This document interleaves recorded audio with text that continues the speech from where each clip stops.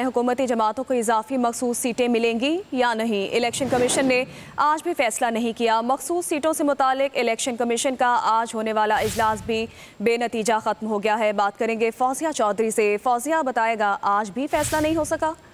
बिल्कुल, chief election commission की जेर सदारत जो है, वो मुशाफी इजलास था, मखसूस नशिस्तों के हवाले से और जो खतूत लिखे गए थे स्पीकर की जानब से। उस हवाले से जो है वो मुशावत जारी रही। कानूनी टीम ने इलेक्शन एक्ट पर अमल करने की जो है वो जाय का ये कहना है, तजवीज़ दी है।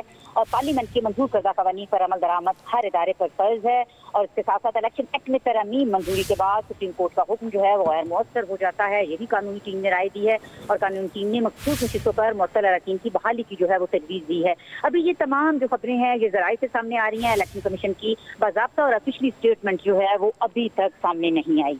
हुकूमती जमातों को इजाफी मखसूस सीटें मिलेंगी या नहीं? इलेक्शन कमीशन आज भी फैसला नहीं कर सका। मखसूस सीटों से मुतालिक इलेक्शन कमीशन का आज होने वाला इजलास भी बेनतीजा ख़त्म हो गया है। जरा के मुताबिक कानूनी टीम ने इलेक्शन एक्ट पर अमल करने की तजवीज़ दी है। कानूनी टीम की राय है कि पार्लियामेंट के मंजूर करदा कवानीन पर अमल दरामद हर इदारे पर लाजिम है। इलेक्शन एक्ट में तरमीम मंजूरी के बाद सुप्रीम कोर्ट का हुक्म गैर मौसर है। कानूनी टीम ने मखसूस सीटों पर मअतल अरकान की बहाली की तजवीज़ भी दी है। आपको बताते चले कि मखसूस सीटों के फैसले के मामले पर सुप्रीम कोर्ट ने दूसरी वजाहत भी जारी कर दी है।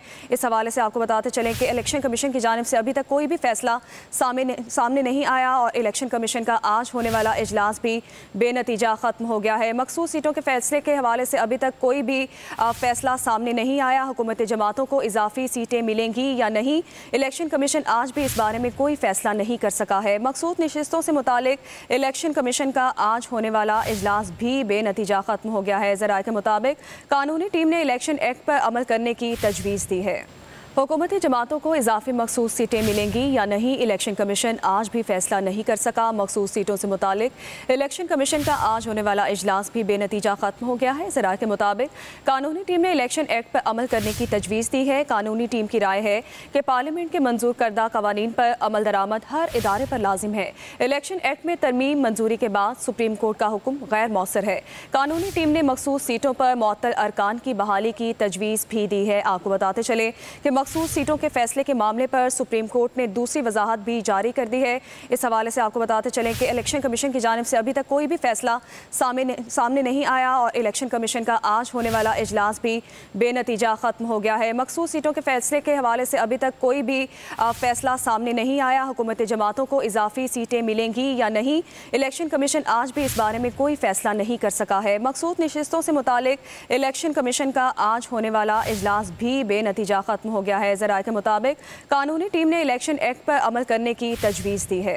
डिजिटल मीडिया के इस तेज रफ्तार दौर में खबर वही, जो बर वक्त और जामे हो। अब होंगी जदीद दौर से हम आहंग। दुनिया की तमाम अहम खबरें, कभी भी, कहीं भी, सिर्फ़ एक क्लिक की दूरी पर। खबरें होंगी सेहत और टेक्नोलॉजी की। आप जान पाएँगे सियासत और मीशत की ताज़ा तरीन सूरत हाल पब्लिक न्यूज़ वेबसाइट के ज़रिए सबसे अलग, सबसे बड़ी टीम के साथ। हर खबर आप तक पर वक्त। www.publicnews.com